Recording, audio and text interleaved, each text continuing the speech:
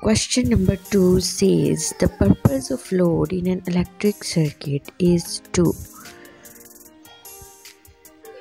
Option number A Increase circuit current. Option number B Utilize electrical energy. C Decrease circuit current.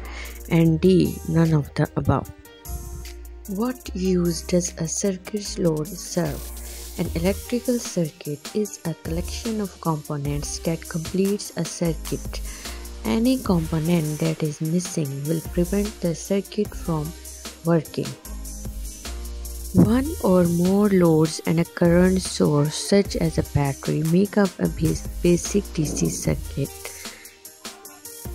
Each load consumes electrical energy and transforms it into another type of energy.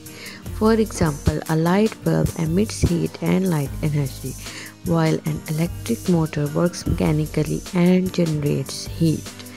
These loads are electrical devices or circuitry that use active electricity. The term may also be used to indicate the amount of electricity a circuit consumes. A power source that produces power, such as a battery or generator, is in contrast to this. An electrical load is a part of a circuit that uses electricity. Conclusion A simple DC circuit consists of one or more loads and a current source such as a battery.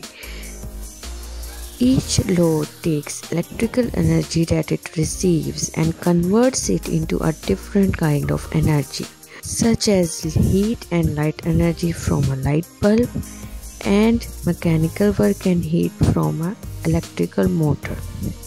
The goal of a load in an electrical circuit is to utilize electrical energy, hence option B is the correct response to the question.